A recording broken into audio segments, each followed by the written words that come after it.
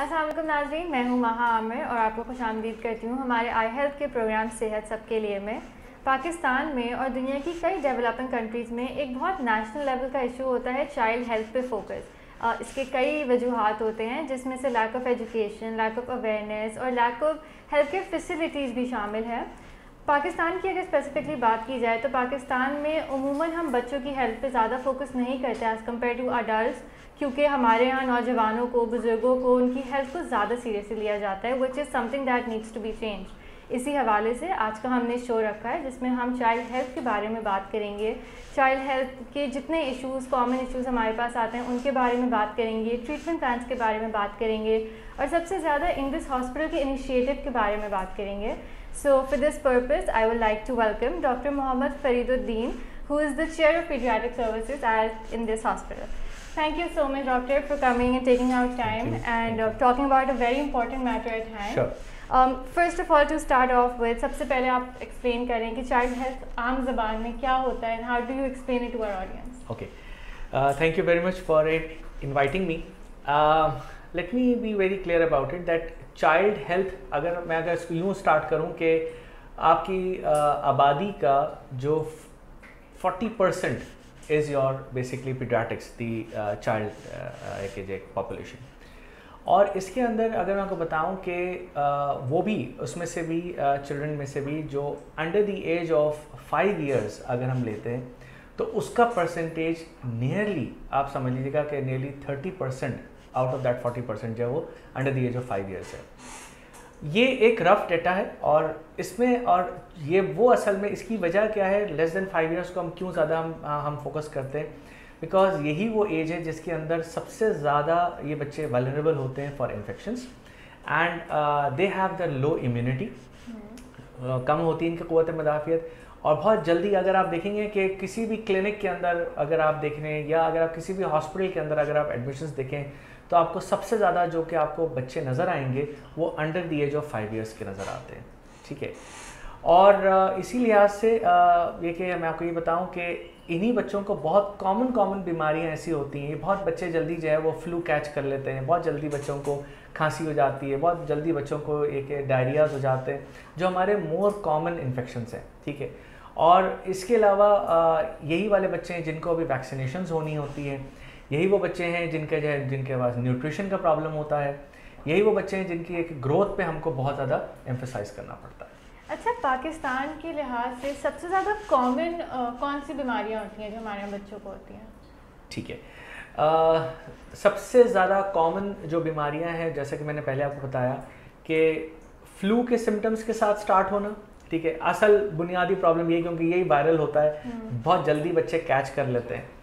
और फ्लू आता है, चला जाता है that's no big issue but problem यहाँ से स्टार्ट होता है कि अगर फ्लू के साथ बच्चों को, अगर उसको सही तरह से वक्त पे उसको सही तदारुक नहीं किया जाए, उसको ट्रीट ना किया जाए not with antibiotics but with other remedies ठीक है? और फिर उसके बाद में फिर यही ज़्यादातर खांसी बढ़ती जाती है, फिर फीवर हो जाता है इन्फेक्शन स्टार्ट हो जाते हैं. फॉलोड बाय कभी कभार नमोनिया खुदाना खास्ता हो जाता है कभी कभार डायरियाज होते हैं तो फिर जो है वो आगे चल के डायरिया बहुत बिगड़ जाता है. और फिर आगे चलकर फिर ये कि टाइफॉइड तो ये सारी चीज़ें वो होती हैं जिसकी वजह से बच्चों को प्रॉब्लम्स होते हैं। एक्चुअली फ्लू का इसलिए मैंने यहाँ से स्टार्ट किया, क्योंकि फ्लू करता ये है कि ये वायरल इन्फेक्शन जितने भी होते हैं, ये आपकी क़वत मदाफ़ियत को इम्यूनिटी को लो कर देते हैं। जैसे ही आपकी इम्यूनिटी को लो करते हैं लो करने के बाद में यही बच्चे वलरेबल हो जाते हैं दूसरे इन्फेक्शन के लिए। और फिर यही बच्चों को फिर आपको फिर बाद में फिर आपको उनको मेजर फिर आपको उनको ट्रीटमेंट देना पड़ जाता है। अच्छा अब अगर हम बात करें रिस्क फैक्टर्स की कि किन बच्चों को ज़्यादा चांसेस होता है बीमारियाँ लगने का if you can talk about that okay as you all know that we are now in a in an era in an era of covid yes. so uh, this covid has basically uh, taught us so many things at the same time जो सबसे ज़्यादा जो इस Covid ने हमको सिखा दिया है वो हमें हैंड वॉशिंग सिखा दिया इस कोविड ने हमें अपने आप को कवर करना सिखा दिया, जैसा कि भी हम सब कवर्ड हैं, ठीक है? इस कोविड ने हमको एक दूसरे के साथ थोड़ा सा डिस्टेंस एक सोशल डिस्टेंस रखने के सिखा दिया। यही सबसे बेसिक बुनियादी चीज़ है जो कि जो कि हमको प्रिवेंट कर सकती है with with common flu like symptoms और सारी चीज़ों के साथ। और यही इस इस, इन तमाम बीमारियों का बेसिक्स है। देखें जहाँ पर हम ये देखते जाते हैं कि जिनके पास जो लोग जिनके यहाँ बहुत ज़्यादा फ्रीक्वेंट हैंड वॉशिंग होता है, उन घरों में, उन उन कम्युनिटीज़ के अंदर इन्फेक्शंस का रेट नस्बता कम होता है सीरियस इन्फेक्शंस का रेट नस्बता कम होता है। और यही वो लोग हैं जो कि आगे चलकर ट्रांसमिट भी नहीं करते इन्फेक्शंस को। तो सबसे पहले बुनियादी चीज़ तो यही है कि हैंड वॉशिंग को बहुत ज़्यादा इसका एक इस्तेमाल करने की ज़रूरत है। और मैं ये नहीं कहता हूँ कि आप कोई आप कोई मेडिकेटेड सोप इस्तेमाल करें प्लीज़ हम यूजुअली बहुत ज़्यादा हम उसको प्रिवेंट हम उसको प्रमोट भी नहीं करते। हम तो कहते हैं, जो घर में आपके पास साबुन है, जो आपके पास आप कर सकते हैं, जो लिक्विड सोप है, जो आप करना चाहते हैं ज़रूर करें, लेकिन आप हाथों को अच्छी तरह से धोएँ। जब आप एक दफ़ा, जब आप हाथों को अच्छी तरह से धोएँगे तो आप बीमारियों का ट्रांसमिट नहीं करते हैं। Second thing is safe water and and food ठीक है। पानी का चाहे आपके पास आपके पास अगर कोई, अगर आपको बहुत ही कोई अच्छा कोई अगर आप पानी यूज़ कर रहे हैं तो अच्छी बात है। लेकिन अगर आप पानी वैसा नहीं यूज़ कर रहे हैं तो जो भी आपके पास पानी आ रहा है, आप प्लीज़ साफ़ सुथरा पानी यूज़ करें, उसको बॉयल कर लें। इससे बेहतरीन और कोई चीज़ नहीं हो सकती। आप बहुत सारी बीमारियों से आप वैसे ही बच जाते हैं। बॉयल पानी पिए। कोशिश करें कि प्लीज़ घर में खाना खाएँ, घर का खाना खाएँ, बाज़ार की चीज़ों का अवॉइड करें। और जितनी अपनी गज़ा को आप सादा रख सकते हैं, जितनी ज़्यादा अपनी गज़ा को आप न्यूट्रिटिव रख सकते हैं, आप बैलेंस फ़ूड इस्तेमाल करें प्रोटीन्स कार्बोहाइड्रेट्स फैट्स को आप अच्छी तरह इस्तेमाल करें फ्रेश फ्रूट्स लें फ्रेश वेजिटेबल्स लें, ठीक है? यही वो तमाम चीज़ें जो कि आपकी इम्यूनिटी को बूस्ट करती हैं। तो पहली चीज़ हो गई आपके हैंड वॉशिंग दूसरी चीज़ हो गई आपका पानी और के खाने का इस्तेमाल। जो तीसरी चीज़ आती है दैट इज़ द प्रिवेंटिव और प्रिवेंशन आप कैसे कर सकते हैं? प्रिवेंशन आप ऐसे कर सकते हैं by by asking your children to have vaccine vaccination vaccination का देखें पूरा एक से स्केड्यूल बना हुआ है ठीक है? बर्थ से लेकर up to the age of five years तक आप उनको वैक्सीन का जो जो टाइम पर आपको बताया जाता है उन वैक्सीन को आप ज़रूर आप यूज़ करें। जब आप वैक्सीन का आप इस्तेमाल करवाते हैं अपने बच्चों को आपके बच्चों के के अंदर बहुत अच्छी बीमारियों से एक बहुत बहुत ज़्यादा आप सॉरी uh, जब आप जब आप जब आप अपने अपने बच्चों को आप वैक्सीनेशन करवाते हैं तो आप बहुत सारी बीमारियों से आप बच जाते हैं। और आपके बच्चे को ज़्यादा क़वत मुदाफ़ भी उसकी बेहतर हो जाती है, और ना सिर्फ़ ये इन वैक्सीनेशन का, एक और भी फ़ायदा है कि इनके अंदर थोड़ी क्रॉस रिएक्टिविटी भी होती है। आप जब एक बीमारी के अगेंस्ट जब आप वैक्सीन लगाते हैं तो वो आपको और दूसरी बीमारियों के अगेंस्ट भी आपको वो इम्यूनिटी प्रोवाइड कर देता है। आपके इम्यून सिस्टम को वो बूस्ट करता है। इसके अलावा जो चौथी चीज़ आ जाती है और वो ये कि जब भी कभी आपके बच्चे को अगर वायरल इन्फेक्शन अगर हो रहे हैं तो बर मेहरबानी आप उसके लिए जो जो सिंपल रेमेडी है वो इस्तेमाल करें। नॉट नेसेसरी कि हर इन्फेक्शन के अंदर आपको एंटीबायोटिक यूज़ करना पड़े। वायरल इन्फेक्शन के अंदर आप सिंपल होम रेमेडी के साथ पैरास्टमोल यूज़ कर लें for for fever body aches हो रहे हैं, आप आइबोब्रोफिन यूज़ कर सकते हैं डायरियाज हो रहे हैं प्रोबायोटिक्स यूज़ करें, घर में आप दही है खिचड़ी है केला है इस तरह की चीज़ें आप इस्तेमाल कर सकते हैं। ओ आर एस का इस्तेमाल करें ताकि वो आपका टाइम पीरियड निकल जाए। हाँ खुदा ना खास्ता अगर वो सेटल नहीं हो रहा है तो फिर डॉक्टर के पास ज़रूर जाएँ और जाकर फिर आप एंटीबायोटिक्स भी आप यूज़ कर सकते हैं। हमारे यहाँ सबसे बड़ा प्रॉब्लम यही होता है कि ओवर द काउंटर हमें एंटीबायोटिक्स मिल जाती है। हाँ। जब हमें ओवर द काउंटर एंटीबायोटिक्स मिल जाती हैं हर कोई जाता है कहीं से भी जाता है एंटीबायोटिक लेता है और यूज़ कर लेता है ठीक है? जिसकी वजह से अब बीमारियाँ जो हैं और खसूस जरासीम जो हैं वो अब बहुत ताकतवर होते जा रहे हैं। और ये बात सही है कि अब हमको भी अब हम ये भी अब हम भी देखना शुरू हो गए कि हम सिंपल एंटीबायोटिक्स से बाद में रिस्पॉन्स नहीं मिलता तो हमें बड़ी हमें एंटीबायोटिक्स को यूज़ करना पड़ जाता है।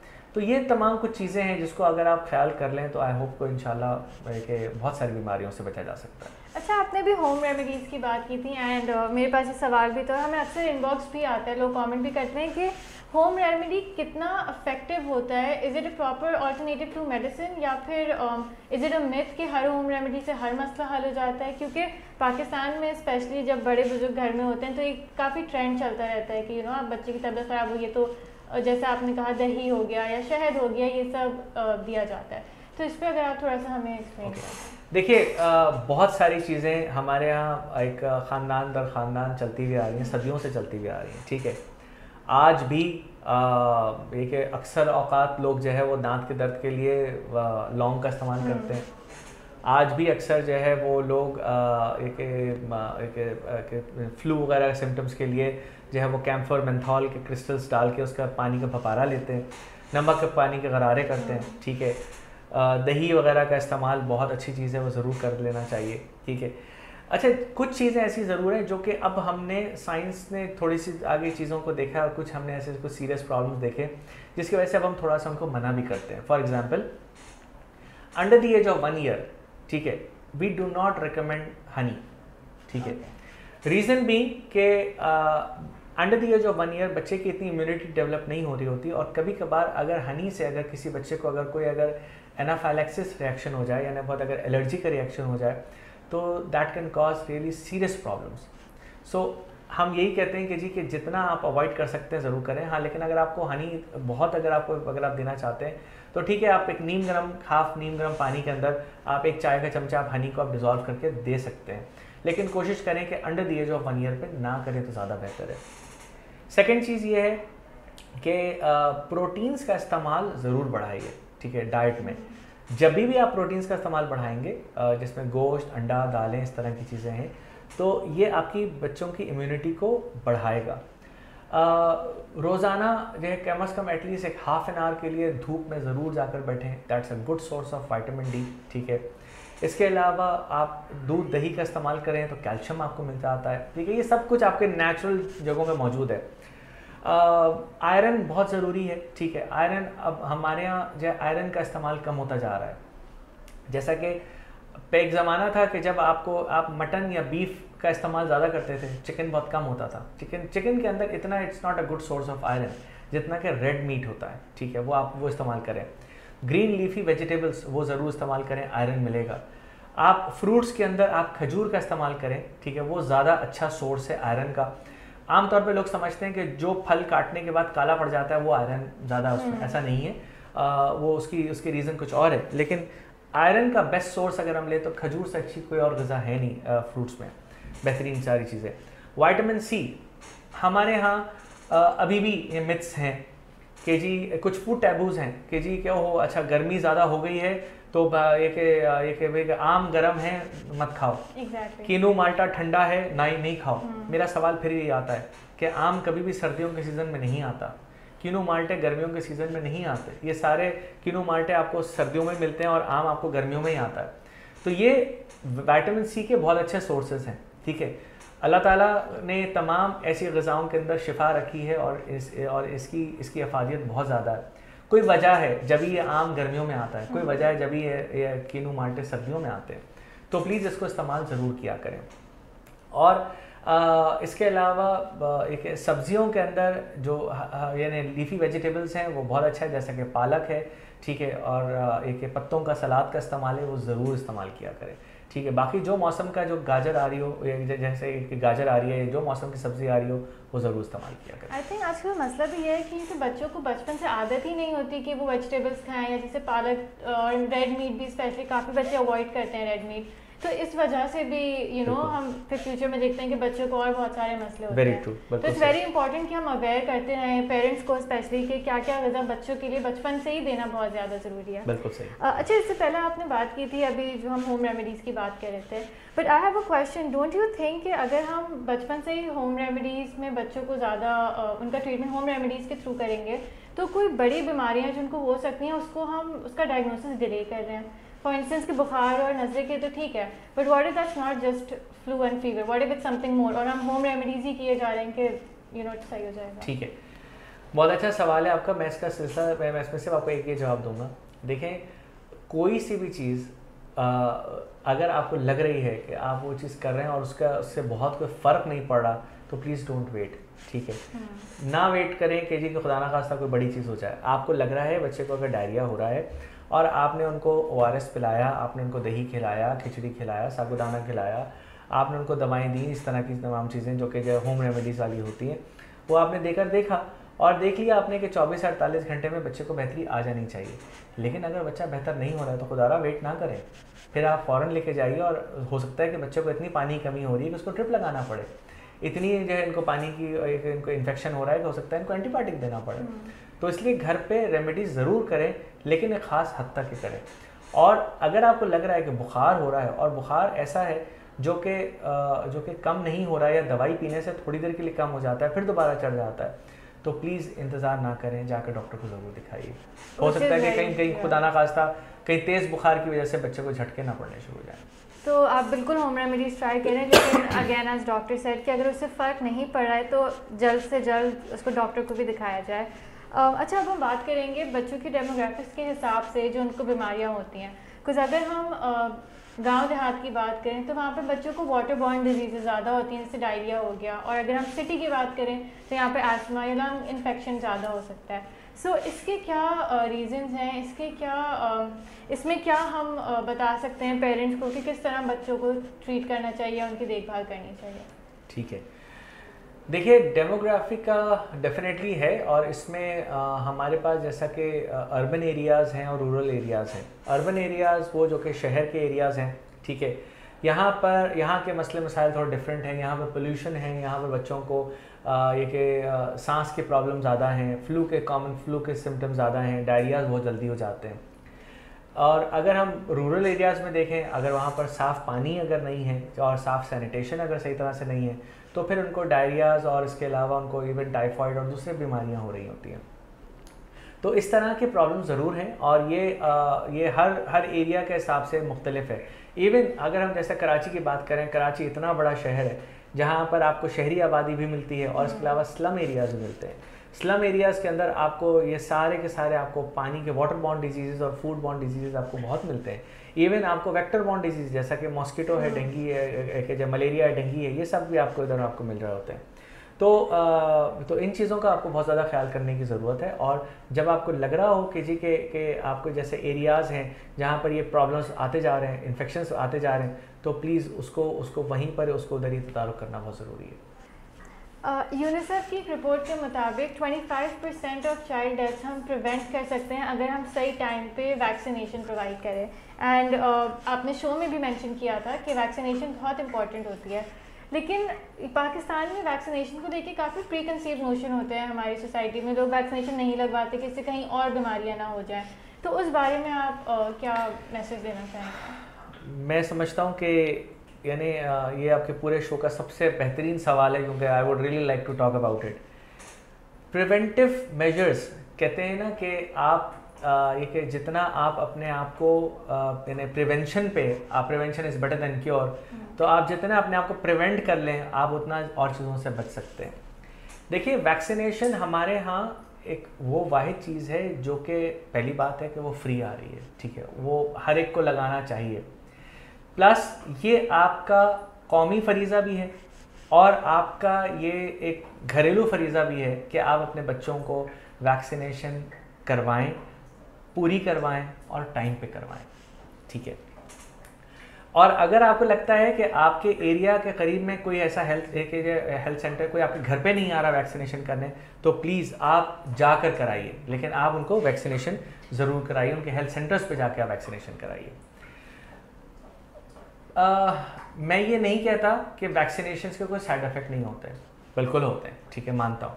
लेकिन वो साइड इफ़ेक्ट्स उन इफ़ेक्ट्स से बहुत कम हैं, जो कि तो वैक्सीनेशन के साइड इफ़ेक्ट्स ये हैं कि जी के बहुत से बहुत, कुछ वैक्सीन हैं जो कि फीवर करवा देती हैं। कुछ वैक्सीन हैं जो कि उस जगह पे जहाँ पर इंजेक्शन लगा है, वहाँ पर स्वेलिंग करा सकता है, ठीक है? एक वैक्सीनेशन है जो कि हो सकता है कि शायद जैसा कि मीजल्स के वैक्सीनेशन है, हो सकता है कि एक तीन चार दिन के बाद हल्के से गुलाबी रंग के माइल्ड से दाने निकल कर आ जाए।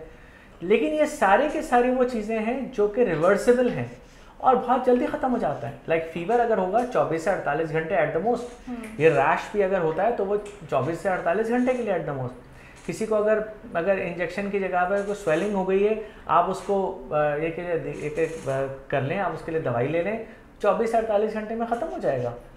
लेकिन ये सोच लीजिए कि इस वक्त का चौबीस से अड़तालीस घंटे का आपका ये प्रिवेंशन करना या आपका ये तकलीफ़ देना आपको आगे चलकर बहुत सीरियस प्रॉब्लम कर बचा सकता है। फॉर एग्ज़ाम्पल अगर मैं आपको बताऊँ बीसीजी की वैक्सीनेशन टीबी के लिए है ठीक है? आप सिर्फ़ ये सोच लें कि ये एक अभी बल्कि एक और भी मैं आपको थियरी बताऊँ कि इस वक्त जो एक थियरी आ रही है वो ये आ रही है कि शायद हमारे एरिया के अंदर हमारे पॉपुलेशन के अंदर कोरोना शायद इसलिए ज़्यादा नहीं हुआ है क्योंकि हमारे सब लोगों को बी लगे हुए हैं। अच्छा। जो कि वेस्टर्न कंट्रीज़ में नहीं लगते बी ठीक है। तो ये इसने शायद हमको इम्यूनिटी प्रोवाइड की ये एक थियरी है जो अभी जिस पर जिस पर अभी काम हो रहा है। इसीलिए आपसे बताऊँ कि टीबी का ही अगर हम बताएँ कि टीबी के जिनको वैक्सीनेशन हुई हुई है तो उनको हम बहुत ज़्यादा सीरियस जो कि टीबी होती हैं, उससे हम बचा सकते हैं।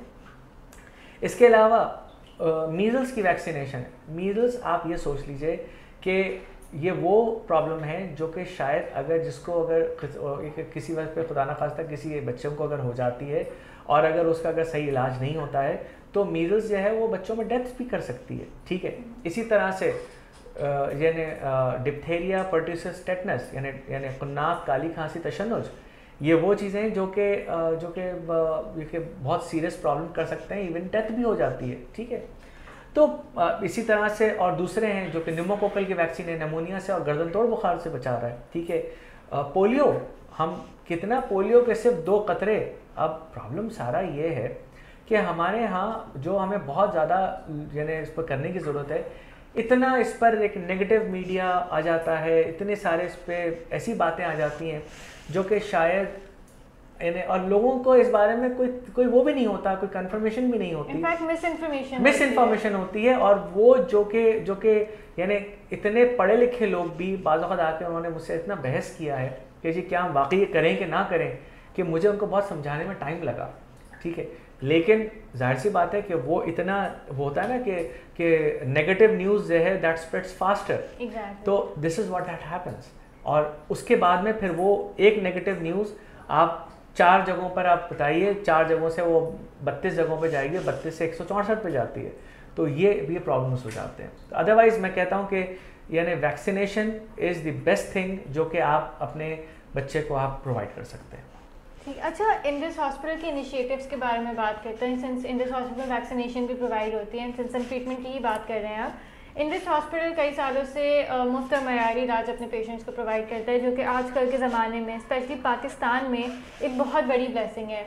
यहाँ पे लोग नॉर्मल एजुकेशन या हेल्थ केयर फैसिलिटीज़ अफोर्ड नहीं कर सकते, जिसकी वजह से अपने बच्चों की हेल्थ पे फोकस करना उनके लिए बहुत बड़ा क्वेश्चन मार्क हो जाता है। सो so, अगर आप इंडस हॉस्पिटल की पीडियाटिक सर्विसेज़ के बारे में हमारी ऑडियंस को थोड़ा बताएँ सो दैट दे नो के वक्त आने पे उनको कहाँ पे सही सर्विसेज़ प्रोवाइड हो सकती हैं। वैक्सीनेशन के हवाले से या ओवरऑल इन जनरल ओके अल्हम्दुलिल्लाह मैं कहता हूँ कि इंडस हॉस्पिटल जिस तरह का इदारा है अल्लाह करे कि ऐसे ऐसे कम अज़ कम मैं तो समझता हूँ सिर्फ़ कराची शहर में कम अज़ कम चार होने चाहिए या पाँच होने चाहिए। आपके हर टाउन में एक आ, हमारे पास पाँच टाउन अगर हैं तो हमारे पास हर टाउन में एक जो है वो आ, एक ज़रूर आपके पास एक इंडस हॉस्पिटल होना चाहिए। क्योंकि अकेला इंडस हॉस्पिटल पूरे कराची को कैटर करना बहुत मुश्किल है। एनी ये मैं आपको बताऊँ कि पीडियाटिक सर्विसेज़ की अगर हम बात करें तो अल्हम्दुलिल्लाह हमारे पास तकरीबन सारी ही पीडियाटिक सर्विसेज़ हमारे पास मौजूद हैं और हम सारी चीज़ों का हम इलाज करते हैं। सबसे पहले अगर हम ये लें कि इस वक्त हमारे पास जो क्या कहते हैं प्रिवेंटिव मेजर्स हैं वैक्सीनेशन हम प्रोवाइड करते हैं ठीक है? इसके अलावा हम जो है वो इनको इधर हमारे पास इधर ऑनकोलॉजी की सर्विसेज़ मौजूद हैं यानी कैंसर के। कैंसर के का इलाज आ, हमारे पास इधर इंडस में होता है और जो बिल्कुल मैारी और मुफ़्त होता है। और ना सिर्फ़ ये कि कराची शहर के के लोग आते हैं अपने बच्चों को लेकर इधर कैंसर के इलाज के लिए, बल्कि सिंध, बलूचिस्तान के पी के पंजाब फाटा और इसके अलावा आज़ाद कश्मीर, ना सिर्फ़ ये, बल्कि हमारे पास अब तो ईरान, अफ़गानिस्तान से भी हमारे पास मरीज़ आ रहे होते हैं, जो कि, क्योंकि क्योंकि कहीं पर भी, यानी बिल्कुल हंड्रेड परसेंट मुफ़्त कैंसर का इलाज नहीं है। अलावा गवर्नमेंट हॉस्पिटल्स के अंदर भी है, लेकिन वो भी कम है, बहुत ज़्यादा नहीं है। इसके अलावा इंडस हॉस्पिटल के अंदर एक डेडिकेटेड बच्चों का ईआर e है इमरजेंसी सर्विसेज़ है, जहाँ पर जो कि 24 फोर सेवन चौबीस घंटे हफ़्ते के सातों दिन, साल के तीन सौ पैंसठ दिन, वो इमरजेंसी सर्विसेज़ हमारी खुली हुई है। हम किसी भी मरीज़ को इंडस हॉस्पिटल में आने से मना नहीं करते, ठीक है? हर मरीज़ के लिए दरवाज़ा खुला है। हाँ इमरजेंसी में आने के बाद में उनका ये असेसमेंट हो जाता है कि क्या उनको क्या उनको इस वक्त इतनी इमरजेंसी है कि उनको फ़ौरन देखा जाए या उनको थोड़ी देर ठहर के देखा जा सकता है। और उसके बाद में उनको देखने के बाद में फिर उनको इलाज के लिए रखा जाता है। हाँ अगर हमारे पास जगह है बिस्तर अगर हमारे पास है मौजूद क्योंकि बेड्स की अवेलेबिलिटी का प्रॉब्लम होता है हमारे पास जितने बेड्स होते हैं हमारे हमारे पूरे के पूरे बेड्स हर वक्त भरे हुए होते हैं। हम्म। लेकिन जैसे ही हमारे पास कोई जगह खाली होती है हम फ़ौर हम हम उस पेशेंट को हम एडमिट कर लेते हैं। अगर उनको आईसीयू की ज़रूरत है हम उनको आईसीयू में भेज देते हैं। अगर इनको एक यानी वार्ड की ज़रूरत है हम उनको वार्ड में भेज देते हैं। अगर उनको एनआईसीयू की ज़रूरत है, यानी नौज़ादा बच्चों के लिए जहाँ जहाँ पर जगह होती है, हम उनको वहाँ पर भेज देते हैं। इवन हमारे पास एक हमारे पास और भी मुख्तलिफ़, जैसा फॉर एग्ज़ाम्पल बच्चों की अगर गज़ा की नाली का प्रॉब्लम है, हम उसके लिए भिजवाते हैं। बच्चों के दिल के सर्विसेज़ के लिए एक बहुत बेहतरीन हमारे पास बाहर के, हमारे पास एक कार्डियोलॉजिस्ट हैं बच्चों के। हम उनका इलाज इधर हम करते हैं और एक उन बच्चों का हम इलाज करते हैं। इसके अलावा हमारे पास जो बच्चों को, जिनको सांस के प्रॉब्लम्स होते हैं, हम उनका करते हैं। रेयर मेटाबॉलिक डिसऑर्डर्स अगर होते हैं, उनका तो खैर मैं खुद करता हूँ, ठीक है। इसके अलावा जो जिन बच्चों को सांस के मसले होते हैं, उनको भी एक मैं देख रहा होता हूँ, बच्चों के गज़ाई प्रॉब्लम्स जितने होते हैं, किसी बच्चों का अगर कि गज़ा बहुत कम है अगर लेते हैं, या वो अगर मेल न्यूट्रिशन का शिकार है, या अगर उनकी, उनको अगर न्यूट्रिशन उनका सही नहीं है, खुदा ना खास तक किसी को अगर एंडोक्राइन का प्रॉब्लम है वदूद का प्रॉब्लम है, हम उनको देख रहे होते हैं। तो आ, बस आप एक नया नाम लें अलहमदिल्ला वो तमाम सर्विसेज़ है वो इंडस में प्रोवाइड की जाती हैं। हमारा एक बहुत अच्छा हमारा एक बड़ा डिपार्टमेंट साइको सोशल डिपार्टमेंट भी है जहाँ पर हम बच्चों की मेंटल हेल्थ के हवाले से भी हम बहुत काम कर रहे हैं। अलहमदिल्ला एक वहाँ पर जो जिनको जिन बच्चों को जिनके बिहेवियरल इश्यूज़ होते हैं और हम उनको भी तरीके से सर्विस प्रोवाइड करते हैं। इधर एक हमने एक छोटा सा, हमने इधर अपने अपने ही एक हॉस्पिटल के बच्चों के लिए जो कि बहुत क्रॉनिक डिज़ीज़ के साथ होते हैं लाइक कैंसर हो गया या कुछ और बीमारियाँ हो गई हैं, हमने उनके लिए एक इधर एक छोटा सा हमने एक स्कूल भी खोल के रखा हुआ है। और यह स्कूल भी मुफ़्त है और उन बच्चों के लिए जो, जिन, जो कि बेचारे बच्चे यानी किसी बीमारी की वजह से स्कूल में अपने पढ़ाई जारी नहीं नहीं रख पाते हैं, हम उनको यहाँ पर पढ़ा भी रहे हैं। बच्चों के लिए प्ले एरियाज़ मौजूद हैं, ठीक है। और इसके अलावा हर वो इलाज जो कि एक आम अस्पताल के अंदर होना चाहिए, वो सब हो रहा है।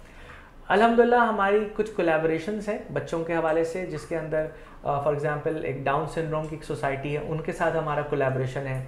हमारा कुछ हुनर फाउंडेशन वालों के साथ हमारे कोलेबोरेशन है। हमारे और बहुत सारे ऐसे फाउंडेशन हैं, जिनके साथ हम मिलकर हमने कुछ इस तरह की कुछ चीज़ें की हुई हैं कि यही ये वाले बच्चों को अगर कभी, अगर आगे कहीं पर मैं रेफ़र आउट करना पड़ता है। तो हम उनको भी हम रेफ़र कर सकते हैं उनको बता सकते हैं कि फला जगह भी जाकर वो अपना ये कि अपना इलाज भी करा सकते हैं कुछ और कर सकते हैं। इसके अलावा हमारी ये भी कोशिश है कि हम ना सिर्फ़ ये कि हम नेशनल बल्कि हम इंटरनेशनल जो हमारे पार्टनर्स हैं उनके साथ भी हम कोलेबरेट करें। फॉर एग्ज़ाम्पल जैसा कि हमारे पास uh, ऐसे कुछ हैं ग्रुप्स हैं जो कि बाहर के मुल्कों में हैं इंग्लैंड में अमेरिका में कनाडा में ऑस्ट्रेलिया में और इवन इंडिया के अंदर भी हमारे कुछ, उनके साथ कुछ इस तरह के कोलेब्रेशन हैं कि जिनके साथ हम बात करके और हम, उनसे हम बात भी कर लेते हैं, हम कुछ टेस्ट करवाना होता है, हम वो भी करवा लेते हैं। तो अलहमदिल्ला ये सारी सारी सर्विसेज़ हमारे पास प्रोवाइड की जा रही हैं। इवन हमारे पास बच्चों का एक बहुत अच्छा जो कि है, वो हमारे पास बच्चों का किडनी के डिज़ीज़ का भी है। डायलिसिस होती है हमारे पास बच्चों की और किडनी का पूरा इलाज हो रहा होता है। तो ये अलहमदिल्ला सारी की सारी सर्विसेज़ मौजूद हैं। तो पीडियाटिक सर्जरी का अगर मैं आपको बताऊँ कि बच्चों की तमाम किस्म की सर्जरी चाहे वो नौजायदा बच्चे की सर्जरी हो एक दिन का बच्चा हो या आ, कोई और किसी की कैंसर तक की सर्जरी हो वो हम सर्जरी हम इधर हम प्रोवाइड कर रहे होते हैं। और आ, इसके अलावा अक्सर अवकात हमारे बच्चे छालियाँ फंसा कर आ जाते हैं हम उनका हम इलाज कर रहे होते हैं। प्लस इसके अलावा कभी किसी को कोई ड्रेन की ज़रूरत पड़ जाती है, कभी किसी को कोई चेस्ट ट्यूब की ज़रूरत पड़ जाती है, बहुत बहुत एक, और बहुत बड़े बड़े सर्जरीज इवन हमारे पास बच्चों के, गुर्दों के, मसानों के अगर जो सर्जरीज होती हैं, हम उसका करते हैं। बच्चों की ऑर्थोपेटिक सर्जरी होती है, हम उसका हम इलाज कर रहे होते हैं। बच्चों की प्लास्टिक सर्जरी होती है, हम उसका इलाज करते हैं। बच्चों के ऐसे बच्चे जिनका, जो जो कि जो कि सुन नहीं सकते हैं, और उनका जो कॉकलियर इम्प्लांट होता है, वो हम इधर अपने पास कर रहे होते हैं। तो तकरीबन अलहमदिल्ला सारी चीज़ों के का इलाज वहाँ पर हो जाता है। तो आ, सिर्फ़ मुफ़्त मेडिकल या मुफ़्त मेडिसिन नहीं दी जाती या फिर मुफ़्त सर्जरी नहीं बल्कि इमोशनल वेलबींग आपकी साइकोलॉजिकल वेलबींग भी बच्चों का ख्याल रखा जाता है जो बहुत ज़रूरी है क्योंकि जब एक बच्चा एक डिज़ीज़ से गुजर रहा होता है तो इतना ज़्यादा इमोशनली बच्चे डर जाते हैं या वीक हो जाते हैं कि इन सब चीज़ों का ख्याल रखना भी it's very important thank you so much for taking out time ये बहुत इन्फॉर्मेटिव था मेरे लिए भी आई एम श्योर हम सबके लिए बहुत इन्फॉर्मेटिव था. um, अगर अभी भी आपके कोई सवाल हो या कोई भी क्वेश्चन uh, कोई कॉमेंट्स कोई सजेशन ओपिनियन आप इनबॉक्स कर सकते हैं आप हमारे कमेंट सेक्शन में लिख सकते हैं. और इन अगले शो um, में हम ट्राई करेंगे कि हम उन सब फीडबैक को इनकॉपरेट करें। Thank you so much again doctor thank you so much for watching doctor अगर आपको की मैसेज देना चाहते हैं so now is the time you can talk to our audience जी बस मेरी आप सबसे गुजारिश है और वो ये कि बच्चे हमारे कौम का मुस्तबिल हैं। आज का आपका ये इन्वेस्टमेंट जो आप अपने बच्चों पर कर रहे हैं बिलीव मी ये आपके लिए भी है आपकी, आपके मुल्क के लिए है और इस दुनिया के लिए एक एक बहुत बड़ा एक एसेट होगा जो कि आप उनको प्रोवाइड कर सकते हैं। तो प्लीज़ बच्चों का बहुत ख्याल रखें।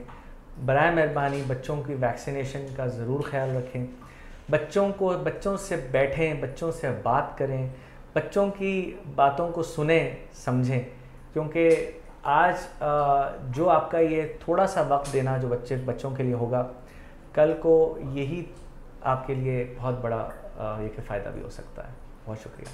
जैसे डॉक्टर साहब ने कहा कि बच्चे हमारा मुस्तबिल होते हैं तो इसी की नोट पर अब हम एंड करेंगे। एंड अगेन कोई भी आपके कमेंट्स हो तो हमें ज़रूर बताइएगा। इस वीडियो को शेयर कीजिएगा ताकि ज़्यादा से ज़्यादा लोगों तक इन्फॉर्मेशन और आगाही पहुँचे और हम जल्द से जल्द एक बहुत हेल्दियर पाकिस्तान की तरफ़ चले जाएँ। अल्लाह हाफ़